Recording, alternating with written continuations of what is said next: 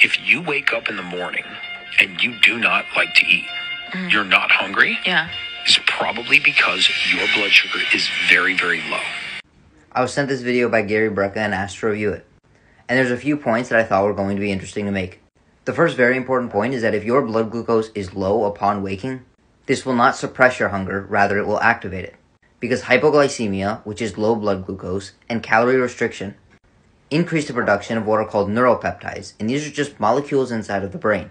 And the specific neuropeptides that are increased are responsible for increasing appetite. So point number one is low blood glucose is not the reason that you are not hungry in the morning. It is a fairly well documented phenomenon that you become increasingly more hungry during the times that you traditionally eat. Therefore, if you're used to skipping breakfast, you're simply not going to get hungry for breakfast. And this is likely due to an alteration in ghrelin, which increases appetite, and an alteration in leptin, which will decrease your appetite. happens is you wake up in the morning, you're fasted, you don't feel like eating, your Yeah. blood sugar continues to trend down. So this was the second point that popped out in this video that I wanted to mention. So as we fast, our blood glucose doesn't just continue to decline. If our blood glucose just continuously declined as we continued to fast, we would likely end up in a coma quite quickly. Our blood glucose is actually regulated extremely well into a very tight range, especially when we're fasting. And I believe Gary is overlooking the fact that we have a system that's entirely designed to keep our blood glucose stable. And this is modulated by hormones such as glucagon and glucocorticoids which increase the release of stored glucose and increase the production of glucose in the liver, referred to as gluconeogenesis. Therefore, after a meal, our blood glucose will come back down to normal within a range typically between 75 and 90. And the body has many different mechanisms to keep our blood glucose in that range even when we're fasting. You eat late in the morning or early in the afternoon and it skyrockets. Right? This is why you have an energy between 2 and 4 in the afternoon. So this is one thing I do agree with Gary on. The longer we fast, the more physiologically insulin resistant we get. You see, when we're in a fasted state, we release a high degree of fatty acids into the bloodstream. And these fatty acids are used as energy.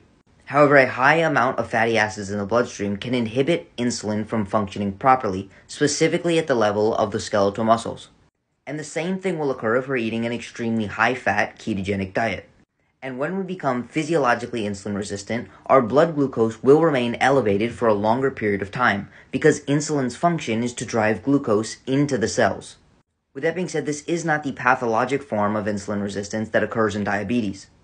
This is reversible and it's considered physiologic because we become insulin resistant in order to spare glucose for tissues that need it, such as the brain, during a fasted state and it simply takes a little bit of time after reintroducing carbohydrates to regain 100% insulin sensitivity.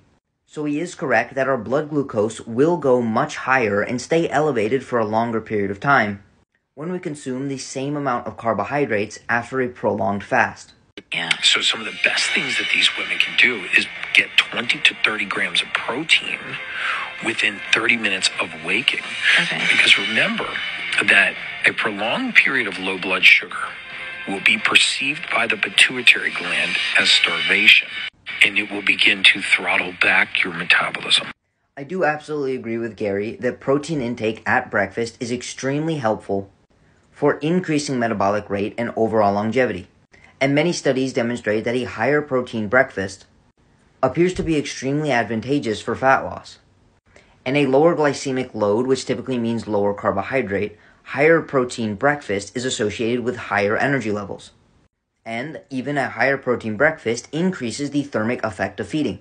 And there are many studies in which it does appear that early morning protein feedings can increase metabolic expenditure throughout the rest of the day.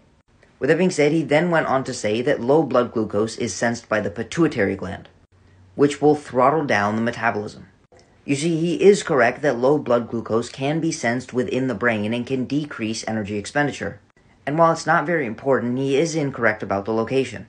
You see, glucose sensing occurs in the hypothalamus and a few other brain regions. However, it does not occur in the pituitary gland. With that being said, the extent to which low blood glucose will lower our metabolism is extremely negligent. But I do also agree that a higher protein breakfast may be advantageous. So while Gary did make a few mistakes on his physiology that may simply make his points a little bit more confusing, I do agree that a higher protein breakfast can help an individual lose weight. However, if skipping breakfast allows you to stick to your goals better, then there is absolutely nothing wrong with it. And if you'd like to learn how to take control of your health and energy, send me a DM to sign up for coaching.